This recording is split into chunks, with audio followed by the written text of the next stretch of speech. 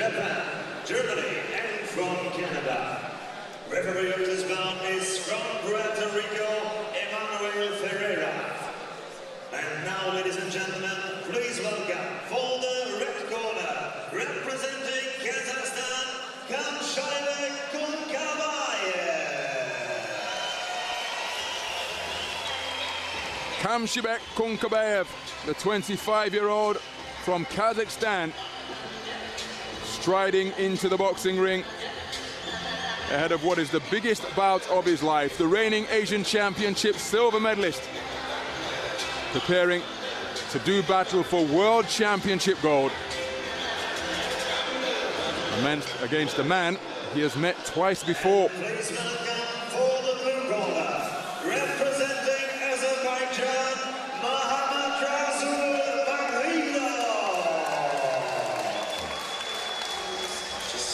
Mahamad Rasul Majidov is ranked number 43 in the world at present, but he was installed as the tournament number. Wasn't seeded in the tournament, but eliminated the tournament number two seed. And that is testimony to the immense amount of experience that this man possesses. Kamshybek Kunkabayev confirmation of that semi-final victory over Fokou Arsene from Cameroon. But Mohammad Rasul Majidov, a former two-time world champion, 4-1 points winner over Joseph Goodall. At the semi-final stage, Emmanuel Ferreira of Puerto Rico gives the final instructions to both boxers.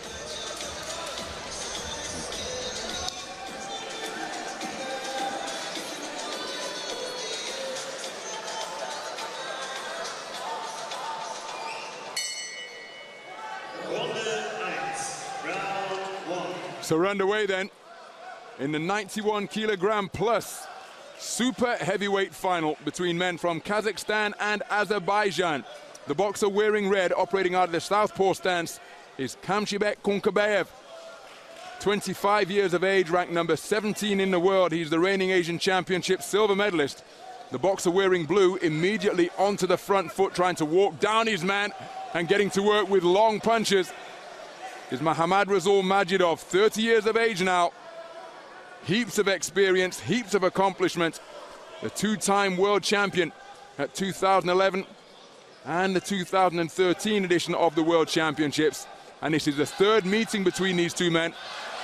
And in their previous encounters, the man wearing red hasn't made it out of the second round. Stopped twice in the second round by the heavy-handed punches that Majidov possesses at his best. Well, both these boxers, Ronald, have got totally different tactics, as you can see. Kunkabayev, southpaw, got to sit back, got to create room and space, work behind his jab. He needs the distance, and he, but he needs movement here. Majidov will be encouraged from the semi-final that Kunkabayev have against Arsene. Arsene caught him with a couple of cracking right hands, and that's why Majidov's gone straight on that front foot. He's gone after him. He's confident. He's stopped this opponent before, and he knows he's got to get up close, close enough to land that big right hand, and that's why he's going all out pressure, attacking uh, from the man in blue, Majidov, and that's the tactic here. But Kunkabayev got to stay off the ropes and out of the corners, work behind his jab, and try and create and maintain the gap between himself and Majidov. Those two stoppage victories came in 2012 and 2013. That's a good southpaw right from Kunkabayev. Of course, that's when Majidov was in his rampaging pomp. Wasn't able to contest the 2015 World Championship, so didn't have the opportunity to make it three in a row and retain the title that he won in such dramatic fashion against the towering figure of Ivan Dichko in Kazakhstan in 2013. He was trailing in the third and final round of that gold medal bout.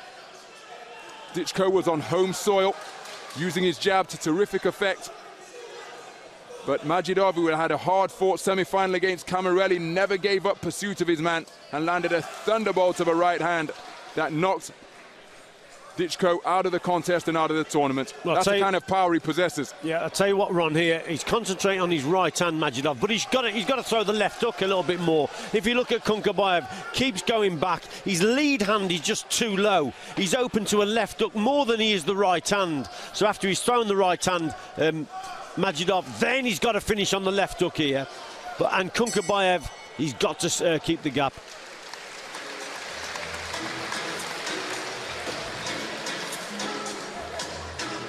The boxer in the red corner is the 2014 World Military Champion. He is a three-time national champion. Probably trying just a little bit too hard, Majidov here. Just got caught with a couple of shots um, at distance, but soon realised that he's got to get up close to Kunkabayev. So he goes on the attack. There's the right hand there, but there he misses with the left, but he should have thrown it as a hook rather than a straight shot. There's a long sort of hooking punch from Majidov. So that one landed, but it's definitely the left hook that he should be concentrating on.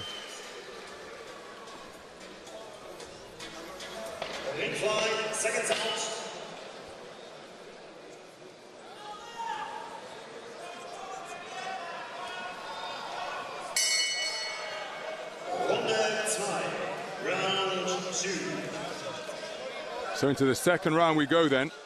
And immediately back onto that front foot is the former two-time world champion and 2012 Olympic bronze medalist, Mohammad Rasul Majidov. There's the long left hook that you spoke about, Richie. Yeah. And his corner probably instructed him to do the same thing. He's landed with it in this early stages of this second round. Yeah, absolutely. He's going for it now. So they've obviously spotted it as well. The Azerbaijan corner. And he's coming forward with wide-eyed concentration, but he takes a hard right hand to the sternum, does Kunkabayev. Long left hand got through out of that southpaw stance, but his hands are very low. That's a risky tactic or a risky Yeah, too position low, to adopt. too low for my liking, Kunkabayev, but that's his style. What he's also got to do, Ron, if, if Majidov closes the gap down, he's got to change tack Kun- Kunkabayev with his left hand and whip a left uppercut through the middle. That's the shot he's got to. His main punch has got to be the jab, keep the opponent at bay. But if he does come close, whip that left uppercut through the middle. And he possesses good concentration, does Kunkabayev. He demonstrated that in the victory over the man from Cameroon, Fokou Arsene, the number five seed. We eliminated at the semi-final stage. Majidov has had a terrific run through to this gold medal bout. Not seeded, but eliminated the number two seed at the second preliminary round, Hussein Ishaish of Jordan. And then eliminated the number seven seed, the Frenchman, Djamili Dini Aboudou Moindze. Got a measure of revenge after Moindze beat him Oh, is there in the a cut? Does it- quarterfinals, and there is indeed a cut. Yeah. Referee's calling time, and he's oh. guiding Oh. To be inspected by the doctor. Let's look at the gesture from the official. Knuckles bumped together. That's being caused by an accidental clash of heads. Always an increased likelihood of that when a southpaw and orthodox boxer are sharing the ring, and it looks to be a bad one around that left eye. So if this injury causes the contest to be stopped, we will be going to the scorecards with a completed round and any portion of the round in which the bout is stopped will be scored by the five judges. Oh my goodness, that's a violent coming together.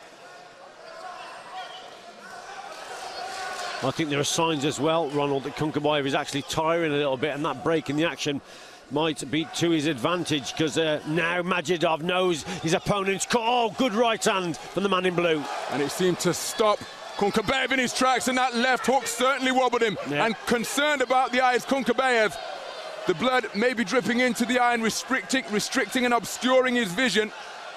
He's getting sent to a neutral corner once again. The referee from Puerto Rico, Mr. Ferreira, calling up. Well, I thought he was going to call the doctor for a second time. He's happy to clean up the injury himself on this occasion. So closing stages of the second round, and it's been a big round for Majidov, and just running out of ideas and maybe running out of energy is Kunkabayev. Majidov has really increased the intensity since that injury appeared, and Kunkabayev hasn't appeared to be able to go with him. He just can't keep him at bay, can he? His jab is not strong enough and he hasn't got sufficient power in his rear hand or the accuracy to keep Majidov, to gain the respect of Majidov. Majidov just knows he's got to get to him, get up close. Good round for Majidov. Most certainly was. And the red corner will be working assiduously on that cut, which is a bad one around that left eye. That's in a bad place. Yeah, it's a bad position, that is. You know, that runs into the eye. Championships 2011 and 2013. So there's that left hook we spoke about from Majidov. And I think his corner will have said to him to go out and, and try and throw that shot. They certainly saw what we saw, Ronald. Left hook again goes in from Majidov. It was a good round, a dominant round from him. There's the head clash. Accidental clash of heads. You said it. When an orthodox boxer and a southpaw meet, that occasionally happens. Bad cut. Three minutes to go. And Majidov, well, he's the one now. It's going to be like a red rag to a bull for Majidov.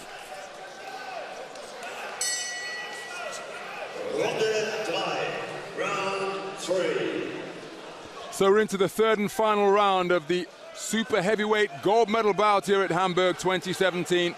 And in this third meeting between these two familiar rivals, it is the man in blue, the man who has won their two previous encounters, who appears to, ha- to have the upper hand in this contest so far. He's come forward, he's got onto the front foot, and he has walked down the southpaw wearing red. Muhammad, Muhammad Rasul Majidov has landed the right hand with good effect in the first round. He brought the left hook into play in the second round. There was a violent clash of heads in the second round, which opened up an injury above the left eye of Kunkabayev.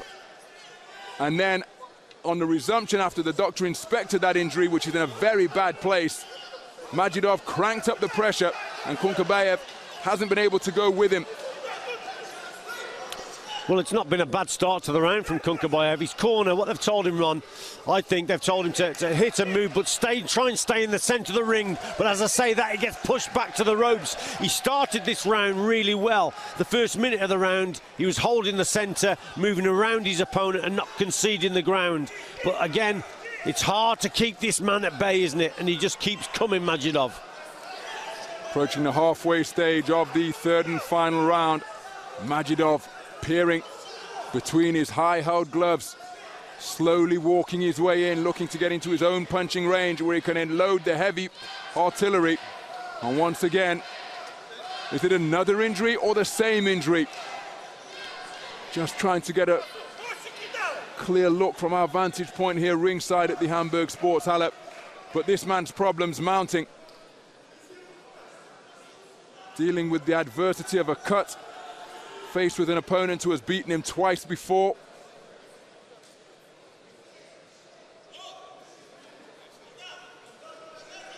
Doctor happy for the contest to continue.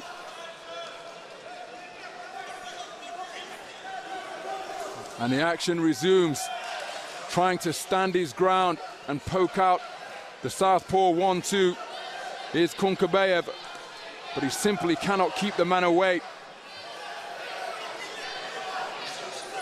Looking to his corner, looking for instruction and inspiration is Kunkabayev. His punches are becoming really ponderous now. They're slowing down, they're looping in the manner in which they're delivered, and they are not coming back to the on-guard position. He could be open for a counter. Very tired now, Kunkabayev. But he's tactically, he's doing well in this round by again holding the centre of the ring. Don't let Majidov push him back to the ropes. If he pushes him back to the ropes, then Majidov will do his better work.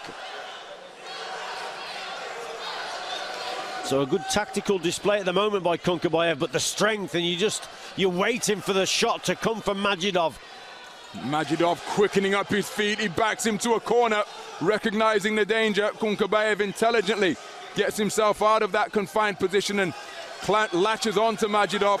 But Majidov quickening up the feet, applying increased pressure, trying to get to his man. Looking for another inside the distance victory. There's the 10 second clapper. It looks as though Kunkabayev is going to make it through to the final belt for the third time in this, for the first time in this, the third encounter against Majidov. But surely there can be little doubt that Mahamad Rasul Majidov is about to be crowned as world champion for the third time. Kamshybek Kunkabayev gave it everything that he had, but he simply didn't have the tools to keep this man off, and he had greater success with his punches from both flanks. I think Kunkabayev did well to get through that round. I really did tactically. He boxed very well, holding the centre of the ring. Majidov, strong as an ox, isn't he? Just keeps coming forward, looking for that right hand, left hook. It's a terrible injury. It really is from Kunkabayev. Majidov, very dominant, I think, throughout the contest. And for me, is, is, for me, has clearly won it. But give credit to Kunkabayev in that last round, the way he got through and the way he rallied. Well, there can only be one winner, surely. Ladies and gentlemen, the winner by split decision. In the blue corner, Mahamad Majidov is absolutely ecstatic at being declared the winner, a 4-1 split decision winner. But it was a dominant display, make no doubt about it. And Mahamad Rasul Majidov joins a select group who have won three world championship titles in AIBA Open boxing. The Azerbaijan fans in attendance here absolutely delighted, and that is how many world championship gold medals Mahamad Rasul Majidov has won. Remember, he wasn't able to defend the title that he won in 2013 after not contesting the World Championships in Doha two years ago. And he returns to top position on the podium after a hard-hitting, powerful display against Kamshybek Kunkabayev of Kazakhstan.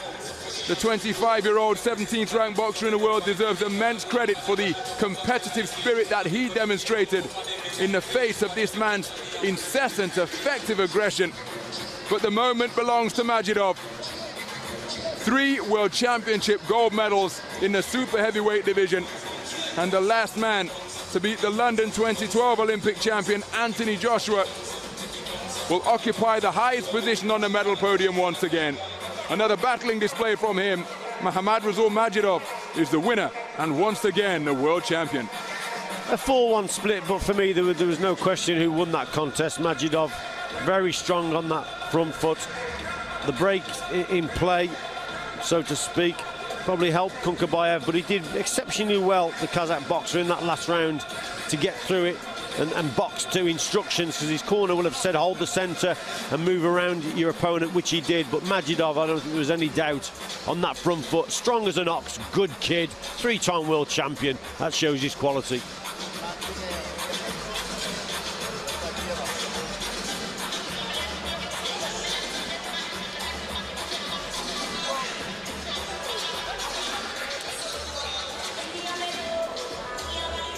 Kunkabayev picked up that significant injury in the second round. And that just seemed to encourage this man further. And he would not be denied on the front foot throughout. And celebrating it with his corner, Kunkabayev in his first appearance at the World Championships comes away with a brilliant silver.